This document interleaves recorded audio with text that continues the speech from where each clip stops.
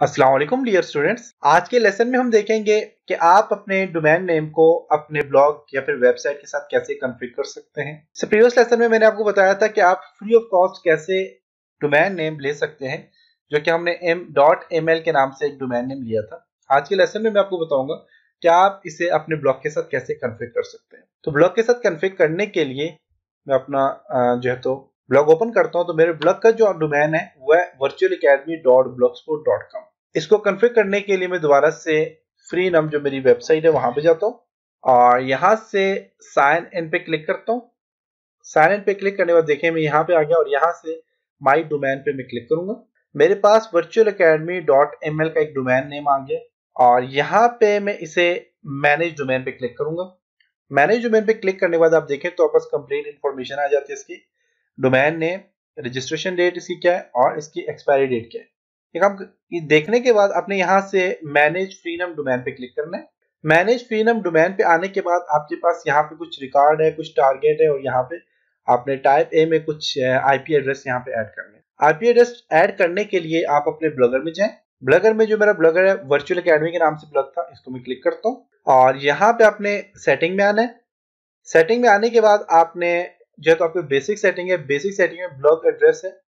और blog address में हमारा जो एड्रेस था, वो है था virtual academy dot Blogspot dot com अब आपने यहाँ पे set up third party U R L domain इस पे क्लिक करना है, या फिर यहाँ पे आपके पास लिखा हुआ होता है कस्टम डोमैन नेम जो भी चीज़ यहाँ पे लिखी हुई आपने इस पे क्लिक करना है।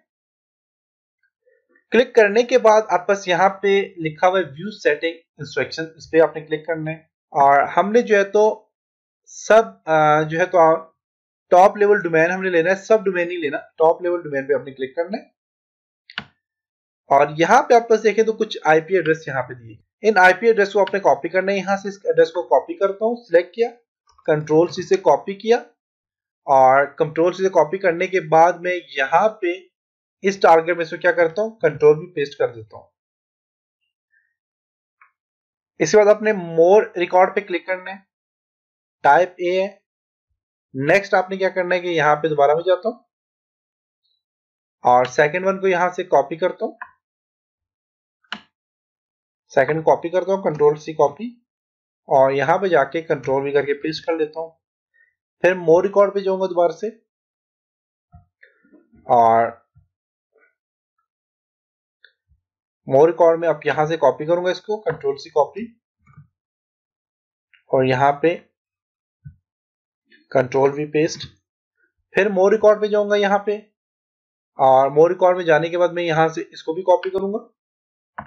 कंट्रोल सी कॉपी और यहाँ पे जाके इसको कंट्रोल वी पेस्ट आप याद रखें कि आपने जो भी काम करना होता है, उस काम से पहले उसकी इंस्ट्रक्शंस पढ़ लिया करें। जैसे कि यहाँ पे इसकी इंस्ट्रक्शंस दी हुई है कि आपने कैसे काम करना है। तो देखिए कंप्लीट आपको इंस्ट्रक्शंस दी हुई है कि आपने कैसे काम करना है। अब ये सारे का सारा काम करने के बाद यहाँ पे अगर आप देखें तो ये सारा काम हो चुके अब हमने क्या करना है? इसको क्लोज कर दें आप। और ब्लगर में जाके ब्लगर की सेटिंग में आपस जो आपने ऐड किया, और यहाँ पे आप देखें तो यहाँ पे आपने अब क्या करना है कि यहाँ पे आपने अपने एकेडमी जो कि आपकी साइट डोमेन नेम है, आपने वो यहाँ पे ऐड करना है। तो साइट डोमेन नेम मैंने क्या रखा था? तो मैंने नाम रखा था virtual academy for you dot M L आपने यहाँ पे ये चीज़ टाइप करनी है। ये टाइप किया टाइप करने के बाद आपने इसकी जो यूज़ मिसिंग फ़ाइल होस्ट जो है, इसको नो ही आपने रखना है। रखने के बाद आप इसको सेव पे क्लिक करें। आपके पास एक एरर यहाँ पे आएगा। यहाँ पे किसी भी किस्म का कोई एरर आ सकता है। अब आपने क्या करना है कि आपके पास यहाँ पे नेम लेबल और होस्ट फ़ील्ड यहाँ पे दी हुई है। तो आपने ये जो कैटेगरी है, www इसको आपने सिलेक्ट करना है कंट्रोल सी से कॉपी करना है और इसको आपने यहाँ पे मोर रिकॉर्ड पे क्लिक करना है और मोर रिकॉर्ड में आपने जो यहाँ से टाइप सिलेक्ट करनी है, वो आपने करना है C name C name select करने के बाद नेम के अंदर आपने कंट्रोल भी करके पेस्ट कर लेने और यहाँ पे अगर आप देखें तो यहाँ पे आपको बता रहे हैं नेम और कह रहे हैं कि जितने रिकॉर्ड है ये आपने सी नेम्स पे कॉपी करने नेम अब नेम के बाद यहाँ पे आपको ये चीज़ें ये दिए destination target control C copy करता हूँ इसको। और यहाँ पे जाके इसको मैं कंट्रोल भी करके पेस्ट कर देता हूँ टारगेट में। मोर रिकॉर्ड में फिर आप क्लिक करें। और यहाँ पे आप देखें तो आपको यहाँ पे नेम आ जाता है कंट्रोल सी कॉपी इस नेम को कंट्रोल भी करके पेस्ट करें। और टारगेट में आप यहाँ पे क्या कर दें? कि इस एरिया को कॉपी करें कंट्रोल सी और इसको आपने यहाँ पे क्या करना है?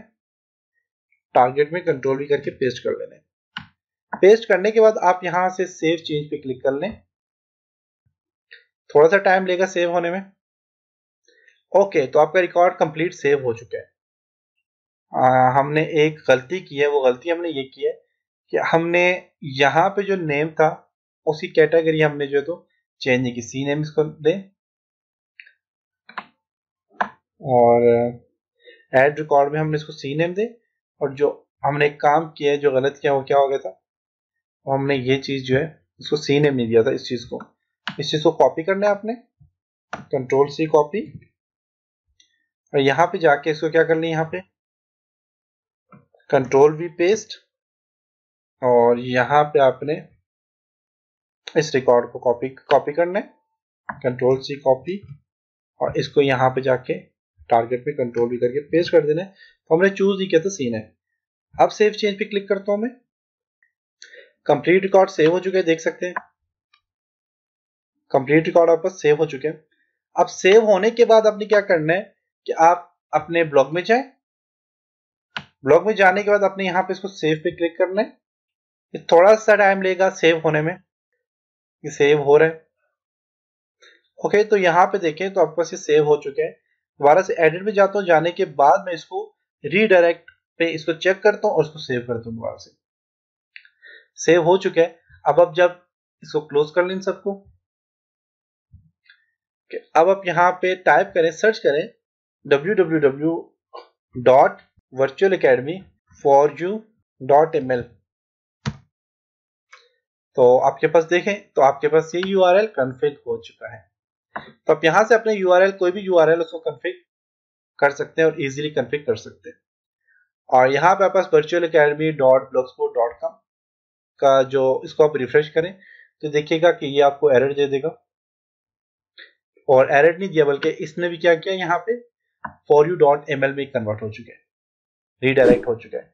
तो ये था जी आज का लेसन जिसमें हमने एक कस्टम जो है तो डोमेन नेम लिया, कस्टम आपने जो है तो एक डोमेन नेम लिया और उसको हमने क्या किया?